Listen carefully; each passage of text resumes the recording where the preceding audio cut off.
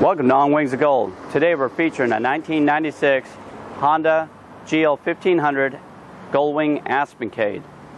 This bike here has uh, little extras on it, chrome, front chrome rotor covers, highway pegs, has the Markland driver floorboards with heel toe shifter. It has uh, the ISO grips. In the trunk we have the trunk and saddlebags. We have the trunk liner and saddlebag liners. Has a luggage rack on it. Little back off light on the back.